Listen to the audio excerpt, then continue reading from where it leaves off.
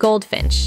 Goldfinches have bright yellow feathers. They love to visit gardens full of flowers. Their cheerful songs sound like laughter. Starling starlings fly together in giant groups called murmurations. Their feathers shine with purple and green colors. They can copy other birds' songs. Wren wrens are small with upturned tails. They sing loudly even though they are tiny. They build nests in cozy places. Mockingbird mockingbirds can copy the songs of many other birds. They sing all day and sometimes at night. Their name means imitating bird, nightingale. Nightingales are famous for their beautiful songs. They sing even in the dark.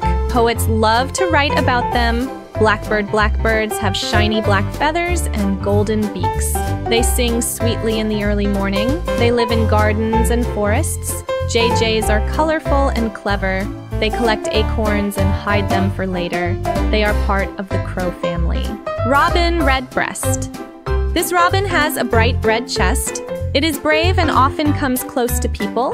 It's a favorite bird in winter stories. Tern terns fly gracefully over the sea. They dive quickly to catch fish. They travel long distances each year. Sandpiper. Sandpipers run along beaches searching for food. They have long legs and quick steps. Their gentle chirps sound like whispers by the sea. Swallow swallows have forked tails and fly fast. They catch insects in the air. They return to the same nests every spring. Swift swifts almost never land. They eat, sleep, and fly in the air. Their wings are long and narrow like arrows. Cuckoo cuckoos are known for their cuckoo call.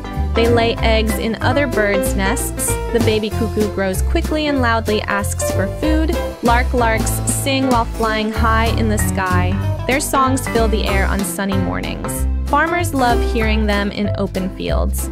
Quail quails are small round birds that stay close to the ground. They have little feathers on their heads like crowns. They run fast when scared. Pheasant pheasants are colorful and long-tailed. They live in fields and forests. Males are very bright to attract the females. Partridge partridges are round birds with soft colors. They like to walk more than fly.